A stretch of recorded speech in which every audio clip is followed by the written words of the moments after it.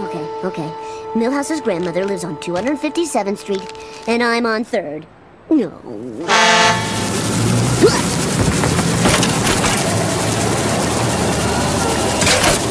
Well, finally, a little luck.